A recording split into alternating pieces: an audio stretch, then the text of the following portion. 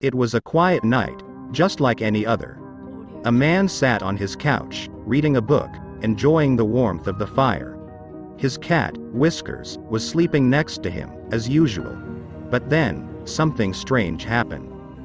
Whiskers woke up and started staring at the man. At first, he didn't think much of it. Cats stare all the time, right? But as time passed, he noticed that Whiskers wasn't blinking, wasn't moving, and wasn't looking away. He tried to ignore it and went back to reading his book. But every time he looked up, Whiskers was still staring at him.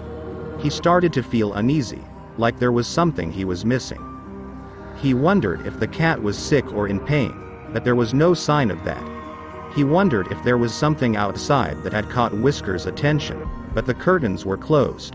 He wondered if he had done something wrong, but he couldn't think of anything. And then, it hit him. Whiskers wasn't staring at him. He was staring behind him. He felt a chill down his spine as he realized what he had missed. There was a shadow on the wall, shaped like a human figure. It was faint, but unmistakable. He tried to rationalize it. Maybe it was just a trick of the light. Maybe it was a tree outside that cast the shadow. But deep down, he knew that it was something else. Something that he couldn't explain. He walked closer to the wall, and the shadow seemed to grow more defined. It was as if it was alive, pulsating with an energy he couldn't comprehend. And then, just as suddenly as it appeared, the shadow disappeared.